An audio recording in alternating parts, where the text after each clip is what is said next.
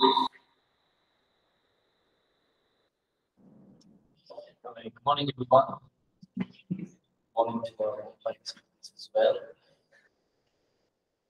I hope you can hear all right. So voice will come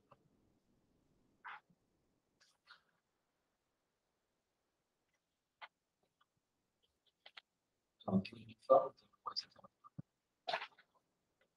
Don't let it-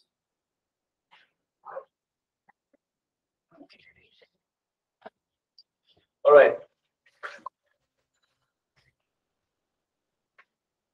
Let's begin this time. Let's uh, spend a few minutes uh, in prayer. Let's look to God and say, God, thank you. Thank you for who He is. Thank you for what He has done for us. Thank you for the covenants, Lord, that you have Lord established for us, and calling us to be partakers of this covenant, Lord. Thank you for your goodness.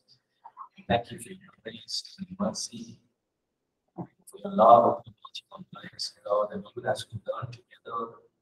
Father, we pray that your word will minister to us. Will you make an impact in our lives? We open our hearts and let your let our hearts be good ground to receive your word. Lord, we ask Lord, that will just bring forth wisdom and revelation, even as we spend time in your presence. Lord, thank you. In Jesus' name we pray. Amen. Let's just quickly do a quick review of what we did last week. Last week we talked about the names of God. Yes. Uh, we talked about how God is a God who revealed himself to his names. Right? Uh, so there was there's plenty of names that we looked at, uh, whole list of names. And then in chapter three, we looked at the blood covenant, understanding what the blood covenant is and who established the blood covenant. And when God established the blood covenant, he meant life for life. And he also meant that if he is willing to give himself fully for the covenant, we as believers must be willing to give ourselves fully to the covenant. Right? But the best example we looked at last week was Abraham, and God said, Abraham, I'm going to give you a son. Right? God fulfilled his promise. But God told Abraham, now it's your turn. Let me see if you are willing to do everything that is there in his covenant. Right? And God asked Abraham to uh, sacrifice his son Isaac. And we know the story. So blood covenant was established to Abraham, then another blood covenant was established in Moses, and uh, through the people of Israel, we needed the Passover, and then the blood covenant uh, that God established through the cross. Then in chapter 4, we briefly looked at how God uh, has called us to be part of this covenant. Right? Now, being part of the covenant, God says, okay, you are separated. Right? There is a distinction between you, there's a difference between you and I as believers, and those who are not believers. Right? Uh, now, when we look through the Old Testament, we see that when the Israelites disobeyed, what happened to them? Whenever they disobeyed, they went into captivity. There was failure. Everything that they did, there was a failure. Right? Because why? They opened their lives to the work of the. Right? We look at the example of people of Israel, right? What were they doing after they came out of Egypt? Playing football. What were they doing? Sorry? What were they doing after they came out of Egypt? No, so yes, they were worshiping other gods. So what was the consequence of that?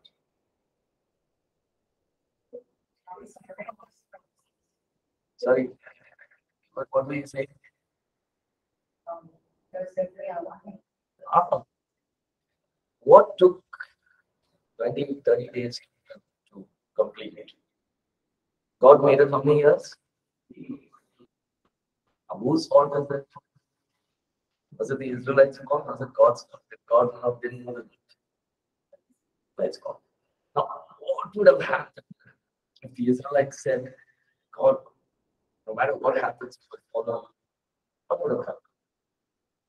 Nothing would have happened. They would have gone into the promised land. God would have still done those miracles. It's just that they would have gone on earlier. Everything would have been okay. But because of their rebellion, and because of the way they said, no, God, we will do it how we want to do it. I said, okay, go do it as you live. And we know that as believers, you and I can say, no, I don't want to go. That's not going to hold you to no, you have to keep. Walk away from God. But don't expect the blessings of God upon and me, right, upon us. If we are rejecting God and saying, God, of course, God still loves us. But we are not open to things of God. If we are not open to what God is doing, we cannot expect God to you know work in our lives. And so he draws a distinction. We are called to be especially a chosen generation. Uh, we must behave that way. Right? And uh, when we do that, we overtake by blessings. Right? We look at that, right? Deliverance, protection, providence, grace, everything is there when you come. Right? So, as covenant people in community, you and I can use God's name, use God's authority that He has given us, and we can walk in victory. In the old covenant, look at David. We talked about that last week. In the old covenant, David knew who he was. He knew his authority, he knew his standing. In the old covenant. So how much more you and I must know our standing in the new covenant. What does Ephesians chapter 1 say? We are seated together. We are seated together.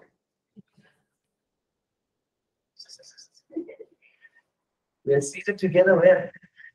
In heavenly places. We are seated with Him. So our authority is from Him. Right? So very important. Uh, even as we have uh, closed on this chapter last week, remember that you are in covenant. The covenant may not change, you know, up with. Sound is echoing. There is some problem in the audio. Hello? Yes. Yes. Audible is not there. Echo waves.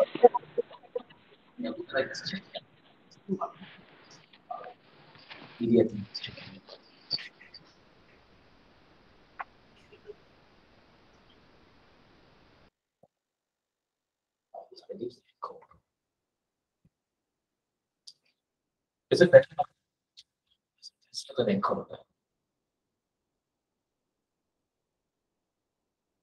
I hope it's better now.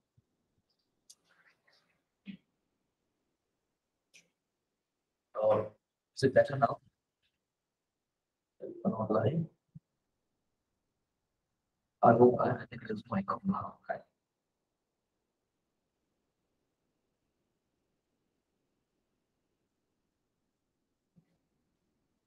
Is there an echo?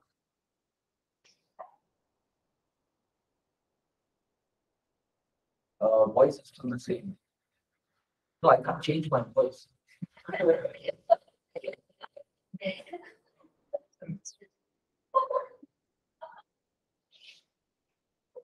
You want me to speak in a gruff voice, softer voice? I don't know. Not audible.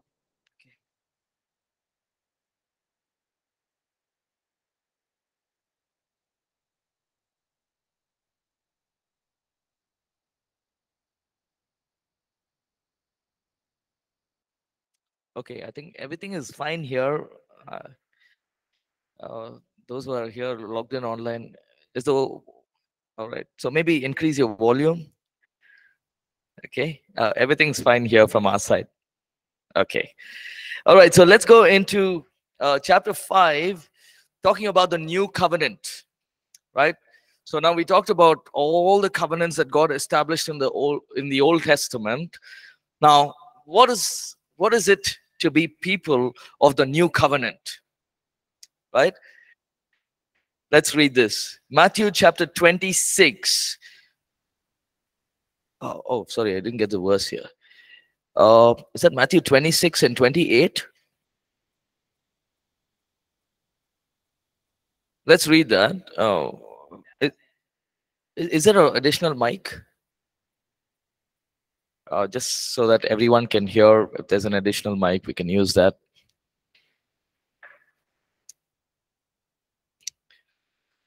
Let's go ahead. Check.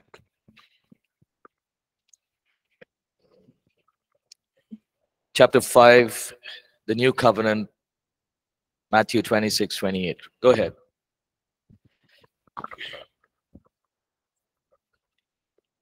Read it from your notes.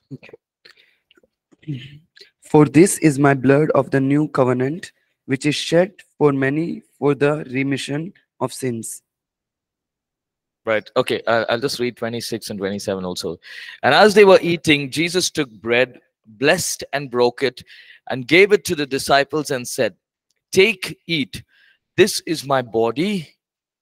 Then he took the cup, gave thanks, and gave it to them, saying, Drink from it, all of you, for this is my blood of the new covenant, which is shed for many for the remissions of sin.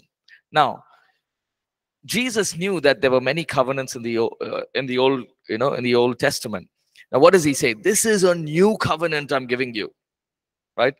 So Jesus completed everything that was written in the Old Testament was a shadow of the cross.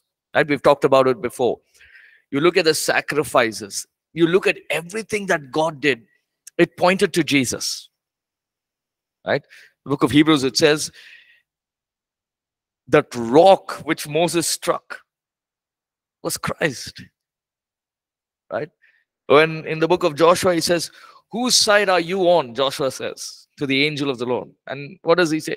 As commander of God's army. And he, be, you know, he's he's declaring. So you will learn that in Christology as well. There are many, many places where Christ has been portrayed in the Old Testament. Now, Christ, he's come into the world, he's manifested himself as a human being. And here he's saying, This is my body, this is my blood. And he's saying, This is a new covenant. Right? Let's look at Luke 22 19 and 20. It says, He took the bread, gave thanks, and broke it, and gave it to them, saying, This is my body, which is given for you. You do this in remembrance of me. Likewise, he took the cup after supper, saying, This cup is the new covenant in my blood, which is shed for you. So, what Jesus did was he typified everything in the Old Testament. Right? What is the meaning of typify? Uh, let's look at the example of Abraham. We look at even uh, the example, the covenant of uh, uh, what God made with Moses. Now, with Abraham, what happened? God is take, uh, Abraham is taking his only son up the mountain. He's going to sacrifice him. And then what happens? God says, Stop. For I will provide. Look at the ram that is stuck in the thicket. Take it, sacrifice it. A blood covenant. Blood was shed and it was done. Now, when you look at it translated to what happened to the cross, beautiful resemblance, right? God took his only son. This time, God didn't stop the hand of judgment. This time, it was not a ram, it was the Son of God. So you see, God typified it, right? Even eh, you'll learn more in Christology as well. Remember, the people of Israel are out in the desert. They started rebelling against God. They started grumbling. Oh man, at home in Egypt, I had cucumber and I had, you know, meat to eat. Here, there's nothing. This manna is tasting so bad. They started grumbling. And what happened? They started turning to other gods. God sent snakes. The snakes started biting people. People are dying. And what did Moses say? God, don't do this. What did God tell Moses? Bronze. God told Moses bronze. Ah, take a bronze pole, take a serpent, and when anybody gets bit, you look at that and you'll be, you will live. So when you look at it, so much, right? Resemblance. It's typifying Jesus. Right? Bronze means in, in, in the Old Testament, bronze is judgment. Right? The Lord Jesus became sin that you and I, when we look at him, we will live. Right? So a lot of typology there. And the cross and, we, and the, the rock from where the water comes. What did Jesus say? Streams of living water will flow out of you. Right? Wherever they went, that water flowed. Right? So all across in the New Testament, uh, we in the Old Testament, we see the Lord Jesus. The Lord Jesus is the mediator of the new covenant. Now, he inaugurated the old covenant, he ratified the old covenant. Now, he's also inaugurating, ratifying, fulfilling, and establishing the new covenant. So basically, God is telling the people of Israel and everyone, saying, okay, all that was done in the Old Testament points to me. Okay, so what I'm going to do now is I'm going to shed my blood, I'm going to sacrifice myself on the cross. I will take up all your sins, right? What you, you know, you remember you used to go take the blood of the ram and go to the high priest. Now you don't do that. Here's what I'm going to do I'm going to give my life on the cross, and this body and this blood will signify and establish this covenant. Right now, when Jesus said, You drink of my, eat of my body and drink of my blood, what did they say? Are you talking about? The Jews are so upset. Right? How can you tell us to eat of your body and drink of your blood? Right? This is cannibalism. It, it doesn't sound good. But what was Jesus trying to tell the Jews? You did you did it in the old covenant, and you're doing it even now, right? You're going and shedding that blood. You don't have to do it now. But the problem was they didn't understand it. Right? It was above their understanding. Jesus said, uh, You destroy this temple, I will raise it up in three days. They didn't understand it. Before Abraham was, I am. They didn't understand it. Right? Jesus Christ, he fulfilled everything of this old covenant. Remember what happened at the cross? Very something very significant happened on the cross. After Jesus said, It is finished. What happened? Very good. The veil in the temple was torn from top to down. Now, this is not a curtain we have in our home. You just do like this, it'll move. okay, this is in the temple, right? So they were made. uh, So, have you done the study on the high priest clothes? The clothes of the high priest, and you've seen those 12 tribes and you know the the the material that they use, it's all high end. No, God didn't say just go take camel skin and wear it. He made sure that everything was meticulous, everything was good, and he anointed people in the Old Testament uh, to make those, you know, the garments for the high priest. And here, the the the temple, uh, the those curtains, they were not just one single curtain; they were very good material, and you can't just take a blade and tear it. It's not going to happen, right? Now, in the old covenant, why was that curtain there? Because if you go in, that's the high priest there, the presence of the Lord is. Right? So once in a year, this high priest will go. And at the cross, the curtain was torn from top to down. The veil was cut. Meaning what?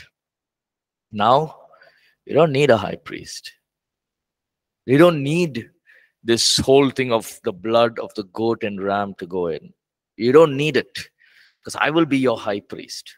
So when you come into the presence of God, you don't come by the, you know, Hebrews talks a lot about it. Don't come by the blood of rams and goats and bulls, but you come through the blood of Jesus. We enter. We sing the song, no? I enter the Holy of Holies. I enter through the blood of the Lamb. Right? So the Lord Jesus is the Passover lamb of the new covenant. What was the Passover lamb of the old covenant?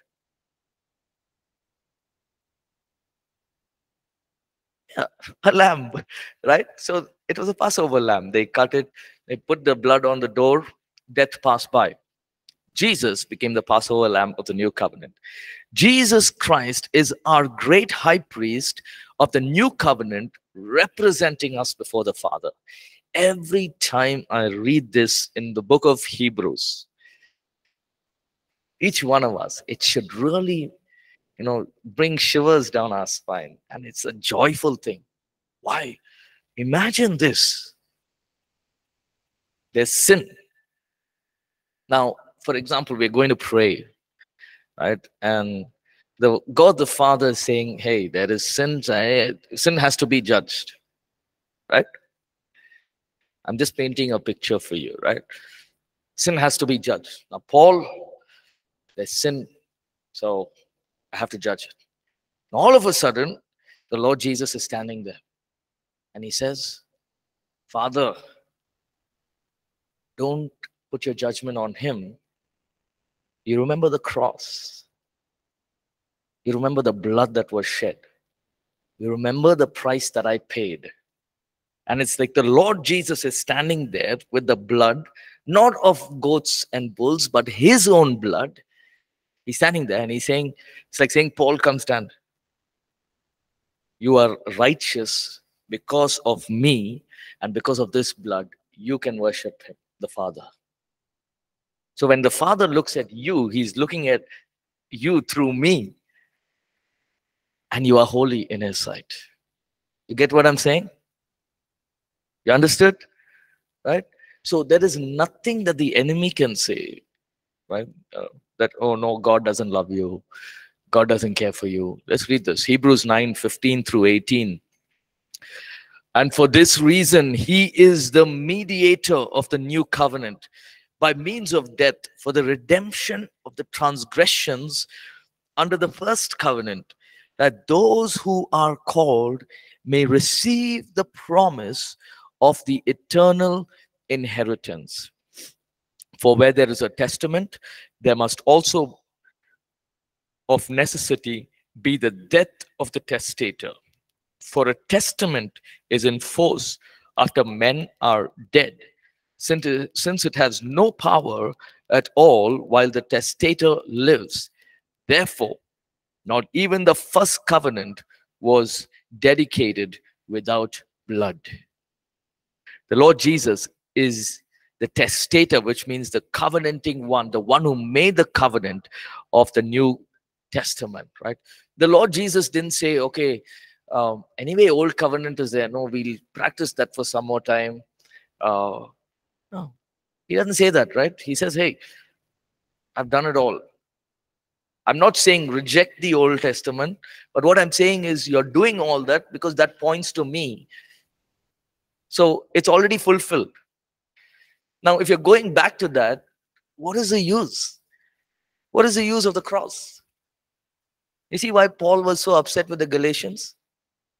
He's gone to Galatia, he's telling, hey, Jesus is, you know, the Messiah.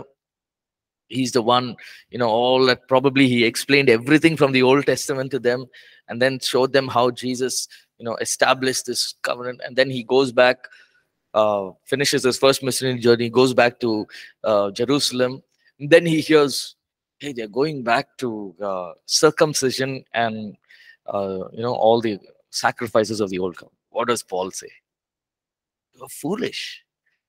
It looks stern, but it's true because Jesus is has fulfilled that. What is the use of you going back there when there's something better? Right? So that's why the apostle Paul was upset because Jesus himself has stated that covenant and here he's fulfilling it. Right? Jesus sealed the new covenant with his own blood. Jesus is the mediator of the new covenant. He sealed the covenant with his own blood. That's why we sing, no? There is power wonder working. We have so many songs on the blood of Jesus. Right? Why? Because it's not that, okay, that's just regular blood. To look at it was just the blood of a, you know, maybe just regular blood that we have. But there was there was weightage, there was power in that blood. More than you know, in the Old Testament, they're giving the blood of the Lamb. God is saying, "Okay, I, I, I, you know, I uh, forgive your sins for now. I cover your sins for now." It is just a regular blood of some lamb, but here the son, the blood of his own son, how much more powerful that is, is this new covenant, right? When we, you and I, uh, spend time in prayer, when you and I are going through things in life, speak the blood over yourselves. Speak the blood. Speak the power of the blood of Jesus.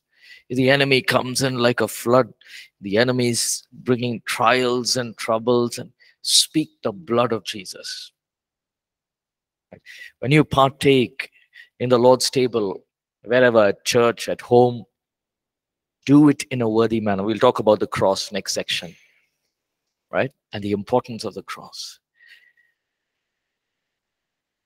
The Greek word here for covenant, we've already looked at it, diatheke, the whole gracious and effective character of God's covenant in the Septuagint. Uh, Septuagint is uh, uh, in the Old Testament. By the choice of the covenant, uh, and a, a diatheke is a will that distributes one property after death according to the owner's wish. It is completely unilateral. In the New Testament, the word diatheke occurs 33 times and is translated in the KJV 20 times as covenant and 13 times as testament. Right? Now, it's not that we must know it. Okay, 20 times it is uh, uh, covenant, 13 times it's testament. But if we only uh, get this understanding of what Jesus did on the cross and how he established this new covenant for us, the way we look at things in life will change.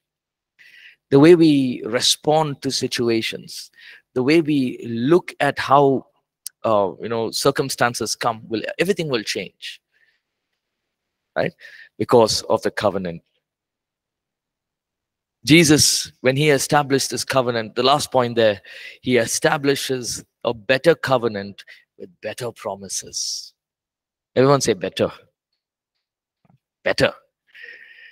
Uh, Sometimes we uh, we have a guitar, we want a better guitar. We have a drum kit, we want a better drum kit. We have a good laptop, we want a better laptop. Right? You have good earphones, we want a better earphones. Nobody's going to say, "Hey, no, no, I have, I have these earphones. That's enough for me." I always want a better one, right? The Lord Jesus is giving us a better covenant with better promises. Right? Let's read this. Hebrews 8, 6 through 13. Go ahead. Anybody can read that. Hebrews 8, 6 through 13. It's on your notes.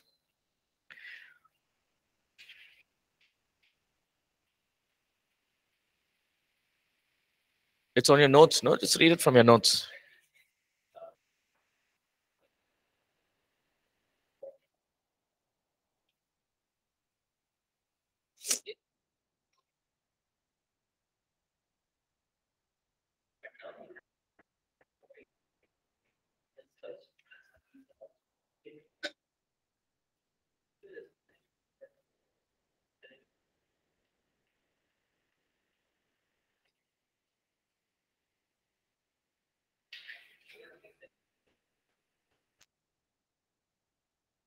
He says, Behold, the days are coming, says the Lord, when I will make a new covenant with the house of Israel and with the house of Judah, not according to the covenant that I made with their fathers in the day when I took them by the hand to lead them out of the land of Egypt, because they did not continue in my covenant, and I dis- discarded them, says the Lord.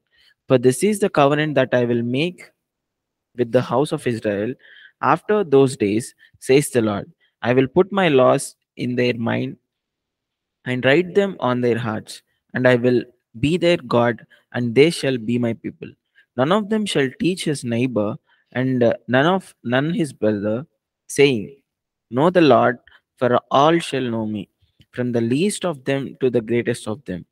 For I will be merciful to their unrighteousness, and their sins and their lawless deeds I will remember no more. In that he says, A new covenant he has made the first obsolete. Now what is becoming obsolete and growing old is ready to vanish away. Thank you. Right. So look at this uh, in the book of Hebrews. Uh, he's talking about what was written in the Old Testament, and he's saying now, uh, this new covenant that I will establish with the house of Israel, with the house of Judah, in this new covenant, I will make. Uh, verse 10 says, For this is the new covenant that I will make with the house of Israel after those days, says the Lord. I will put my laws in their mind and write them on their hearts. Right? I'll put the laws in their mind and I will write them in their hearts. And I will be their God and they shall be my people. What a covenant, right? I will write, I will put my laws in your mind and I will write them in your heart. Nowhere in the Old Testament uh, we see people, you know, the writing of God in your heart, in the heart, right? Meaning, uh, you and I as believers, right? We have the Word of God, we have the Lord Jesus, we have the Holy Spirit inside us to minister to us every time because it's better than the old covenant. What does he say in verse 13? He says, uh, A new covenant he has made the first obsolete. The word obsolete means empty or powerless. But he's made the old one obsolete. Now, what is becoming obsolete is growing old and is ready to vanish away. Right? Hebrews 10 9 says, Then he said, Behold, I have come to do your will, O God. He takes away the first that he may establish the second.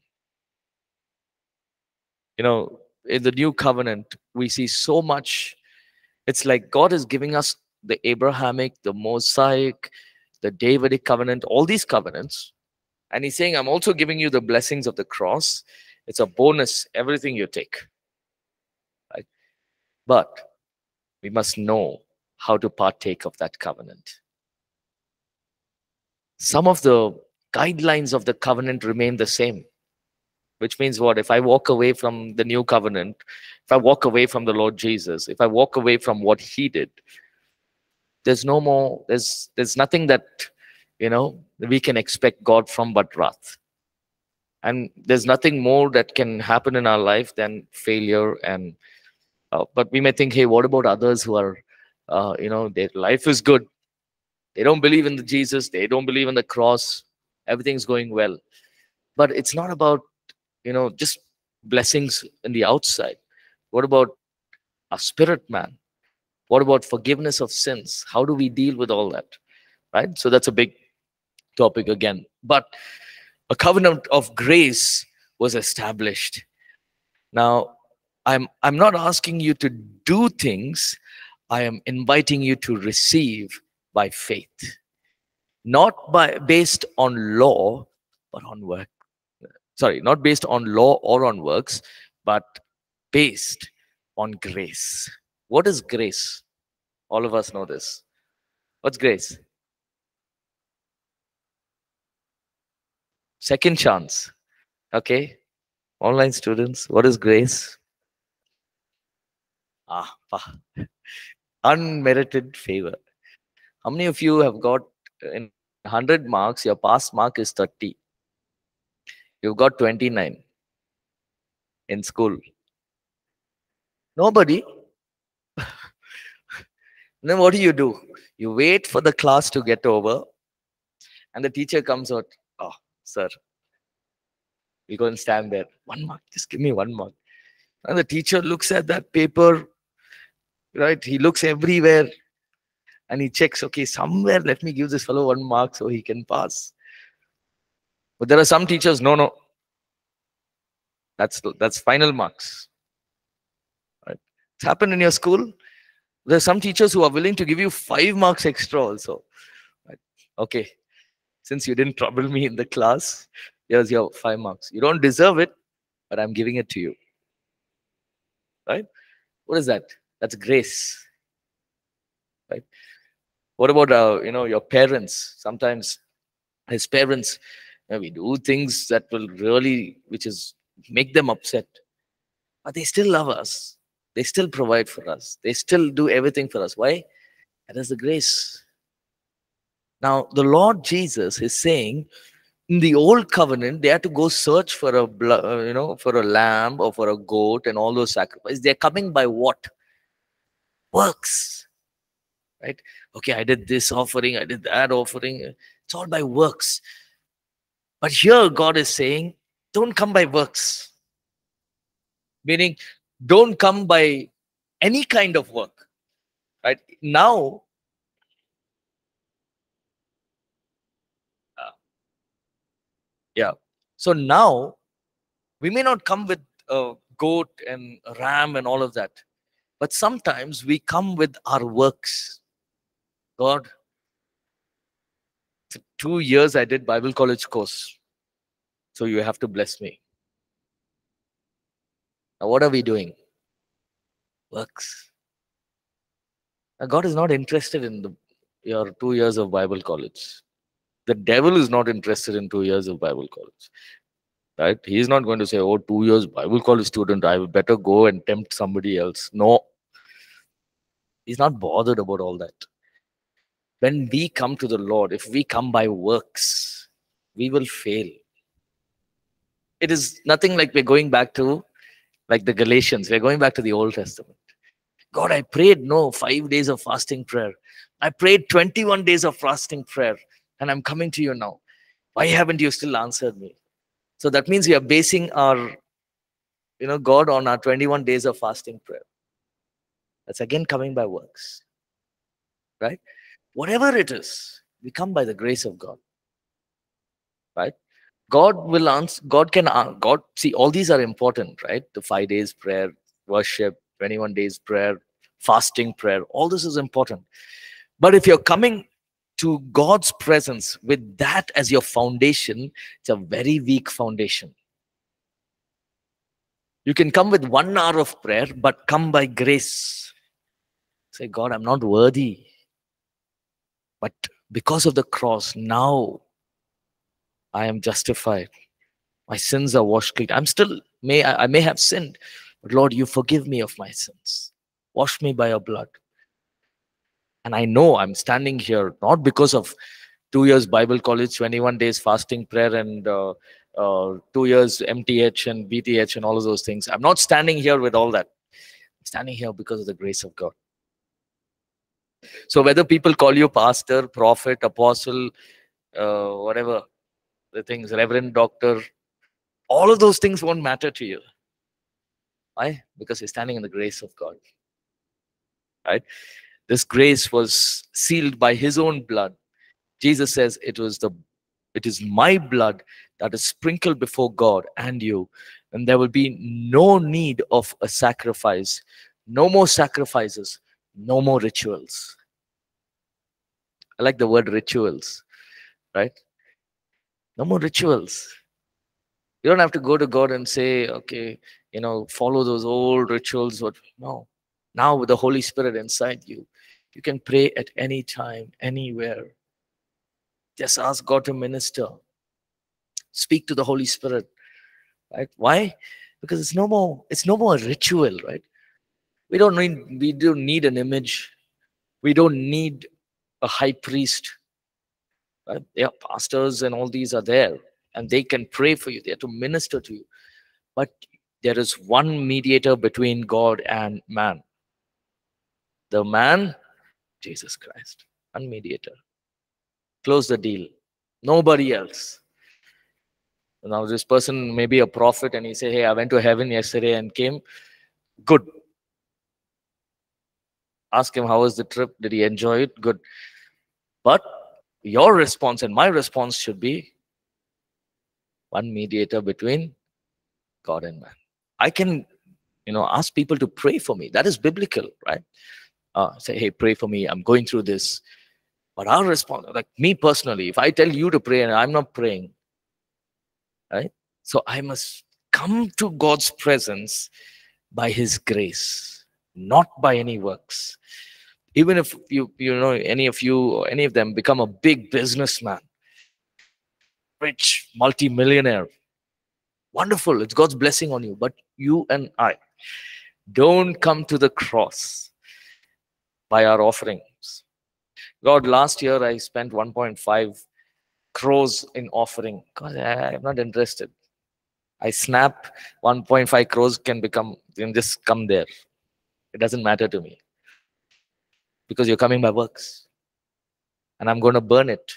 And when I test it by fire, if it becomes ashes, 1.5 crores is gone. What about your soul? What about your spirit? You see what the difference is when we come by work? Because the reason I'm sharing this and emphasizing this is because as believers, it's very easy to come to God through works. It's very easy. God, I'll do this, I'll do this, I'll do this. Will you bless me? Right? No. You come, you and I come by grace. Whatever it is, say, God, it is your grace. Tomorrow, if I'm alive, it is your grace. Not because I went to the gym, not because I ate well, all that is important, but it is your grace. I was just watching some of those videos that some of them have sent, very disheartening. You know, the video of the uh, in, in Turkey, what happened uh, with the earthquake. Everything was fine just three, four days back. Life was normal, just like what we are, you know, what was going on here. All of a sudden, you know, this happened in a blink of an eye. There were families, there was a couple of videos where the there's a small child baby that is stuck deep inside the, uh, the rubble and they can hear the cry but they are not able to go in. The mother is dead there. Can we come by works to god's presence? Come by the grace of god. Every day you say god it is your grace that is sufficient. It is your grace that i'm standing here now, it doesn't mean that we don't do anything. Hey, God said, come by grace, don't do any work. No. Right? So we need to maintain a balance. Uh, we come to the Lord Jesus, our identity comes through his grace. Nothing more, right? So, a more glorious covenant, that is the work of the Holy Spirit inside us. In the old covenant, the Holy Spirit would come, minister to people, and leave. You and I have the Holy Spirit inside us, right? All of us have the spirit of god inside us. Do we believe this? Yes. We all can prophesy. We all can pray for healing working of miracles. We all can speak in tongues. We all can be led by the spirit of god. What does the what does the scripture say? Those who are sons of god shall be led by the spirit of god. Right? we are led by the spirit of god. We are sons of god. Both ways so, as a child of God, we can say, God, you lead me. Leading of God is very important, no? Uh, I, I don't know if I've shared this. Uh, this happened many, many years back. But I think it was 2015. Uh, you know, we had uh, at Central, what happened was there was a uh, there was a university uh, from uh, I think it was Texas, uh, Oral Roberts University, I think it was. Uh, they had come to uh, church and they wanted to, you know, just talk about their um, church and their ministries that they have. That Sunday, I happened, I was leading at Central, so I finished leading the worship. Um, and after the worship, the the Bible college principal of Oral Roberts University came up to me and said, um, uh, what is your name? You, you thank you for leading worship and all that. And he, he said, I will give you. Are you married? I said, Yes. I will give you, your wife, three years scholarship in the US. Come. You'll have your own place. You'll have, uh, after the first year, you can start working. Yeah. But we want you to come and study there. Sounds good? Wonderful, it sounded. Oh, wow, India is getting bad to worse. Better to go somewhere. And everything is being given, right? Everything she said, you know, I'll give you this, this, this, this. All you have to do is get your visas done. I'll send you the letter. Get your visas done. It sounds good to the ear, but in my spirit, I was like, no. She said, why? I said, I, I don't to come. I, I want to be here in India. I'll, you can come back to India. I said, I don't want to go. I just knew somewhere in my spirit, I knew it was not for me. And I look back and I say, thank God. yeah. It's just it's good to go if you, you know, I'm not saying don't go to the US and go, go and study, go, but be led by the Spirit of God. Don't do things just because everyone are doing it. Be led by the Spirit of God. Ask the Holy Spirit, God, is this something that you want me to do? Right? Take your time. Take time. Think about now. For me, it was immediate. I just knew. I said no. And there were plenty of opportunities in the workplace also. Can you go there and work? Can you go? I said, no, no. I'll be here. I want to be here. Why? My colleagues would say, why do you want to be here? What is so great? I said, I like Bangalore. I like to stay here. I will stay here. My parents are here, and I like to be here. No, I'm not going anywhere. If you want, I'll go North India and come. Not outside India. I don't. Right? It- it- it's just there inside me. But I knew it was a leading from God. Right? Uh, I always share. You know, some of my some of them were saying, "Now all my cousins, uh, like all my relatives, everyone have gone abroad. I think two of us are here, and the other person also may go. So why don't you come? Why don't you know? Our last Christmas, they all visited us. Why don't you come? And one cousin is saying, "Come to the U.S." They went early 2002, 2003, so they're all citizens and they've all settled down. Come, come, just come. Don't have to do anything. Other cousin, "Okay, come, come. I said, all of them, I'm not coming. I'm going to be here. So what's so great here? I said, God is great here. I want to be here. So being led by the Spirit, and it could be it not only this, but it could be in anything. Starting a business, starting your ministry, be led by the Spirit of God, and, and you'll know, okay, God, this I know that this is God who's telling me, right? How? Because of the work of the Holy Spirit. Then we see the sign and seal of the new covenant. Uh, the seal is a new birth, circumcision of the heart. When we when we believe in Jesus, Second Corinthians 5:17 says we become a new creation. That's a seal that God has given us, right? The sign is the Lord's table. We partake of the Lord's table, right? Uh, in Genesis 13, Melchizedek presented bread and wine to Abraham. I would encourage you, if you in your free time, go ahead and read that portion. We don't have time, but uh, uh, it's again a type of what was going to happen in the Lord's table in the new covenant we have a new identity. Remember the old covenant? They'll do the offering they'll go home and sit or they'll go to work. Is there a new identity? No. Everything is the same. But here as believers we can be the worst sinner. When we believe in jesus we're washed by the blood of jesus. We have a new identity. What? We are sons and daughters of the living god. We are a child of god.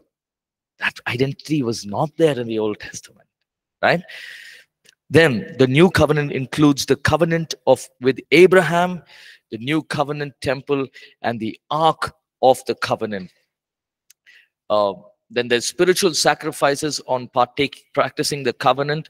Spiritual sacrifices including all of that we're doing now prayer uh, worship um, you know, water baptism uh, the lord's table all of these things are the things that we're doing in the new covenant.